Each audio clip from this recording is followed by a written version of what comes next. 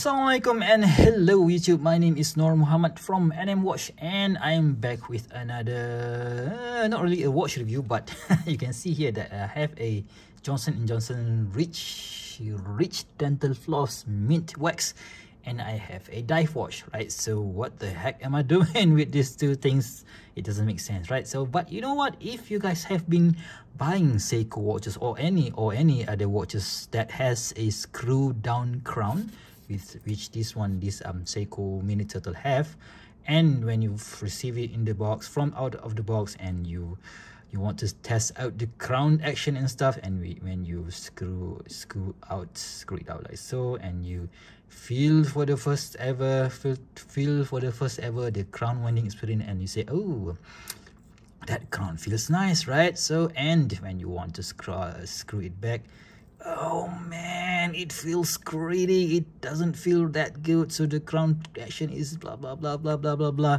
And you start blaming Seiko or any other brands for that matter. So what happened is when you know what based on what I've experienced so far this one had the same problem gritty and um, uh, crown winding crown screwing back action this one also have the same exact problem as RPC was it 39 this one SRP G57 god I can't remember. But of course mini turtle in blue um Seiko's SOT not save the ocean STO Antarctica penguin fit both have the same exact issue which is a gritty uh, screw uh, screw down in um, action right? So what happened is that inside this one you have this crown tubes right crown tubes let's just take it off a bit more.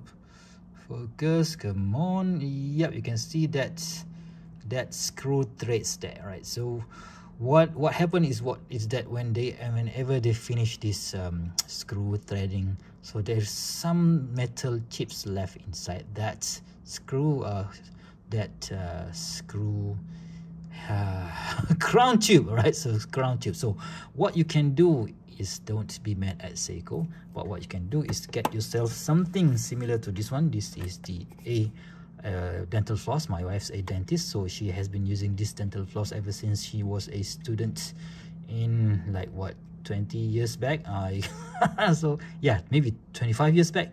So that is why she she's not gonna be letting me get to keep one of these because this is her one of her most memorable thing to have in her collection of dental flosses so what you can do is you can put because these things have wax guys right? So what you can do is that you can you can put it around the crown tube and just just what you can do is just you can play around with it and you can go through the screw head oh sorry screw thread like so. Let me just um, come on. This is very difficult to do behind from behind the camera guys. So sorry about that so yeah i normally do this and so just just make sure that the wax goes through to the crown tube and so that you have a little bit of wax and at the same time you, you have a little bit of wax on the crown tube and at the same time this uh, floss dental floss